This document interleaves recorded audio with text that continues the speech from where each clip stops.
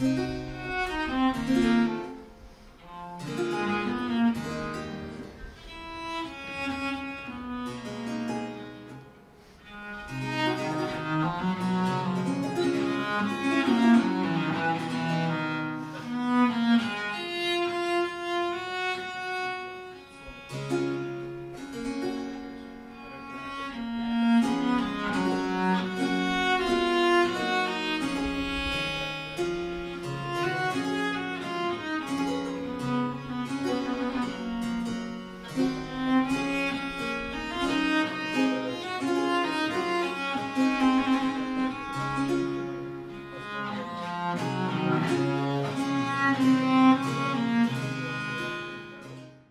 két ember emelkedik ki a műemlékkönyvtár korai történetéből.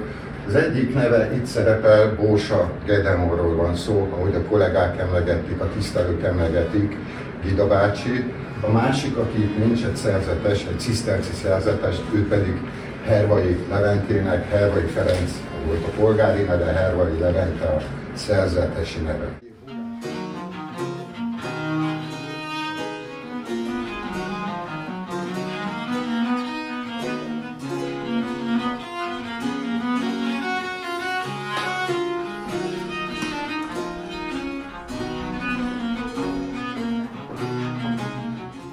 Átadtuk Borsa Gedeonnak, a híres művelődés történésznek, a nagy régi könyvesnek, akire a szakma legalábbis OSK-n belül a Istenként tekintünk, a könyvtára került ide Zércre hagyatékból, és hát ez egy írtózatos felemelő élmény nekem.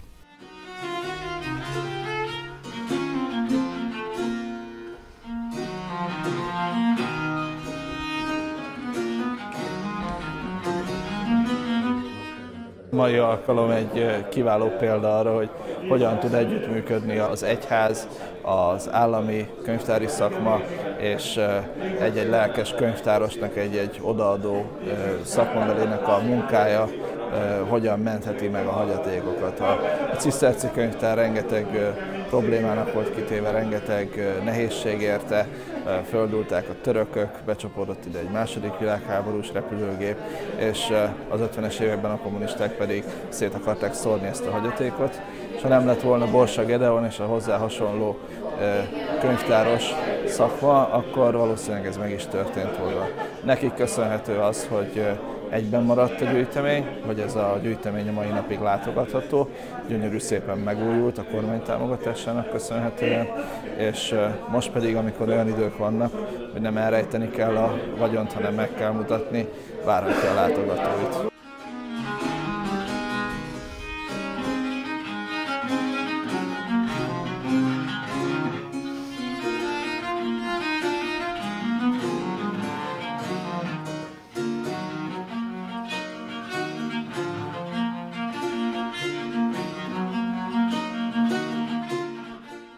Az Atya, a Fiú és a Szentlélek nevében. Amen.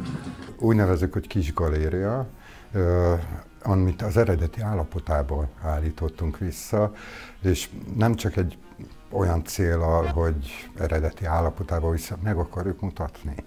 Ugyanis elindulnak tavasztól itt Zircen a mi emlékkönyvtárba az úgymond bibliofil táratvezetések, annak a fő helyszíne lesz ez, és egy méltó méltó környezetet akartunk teremteni ehhez.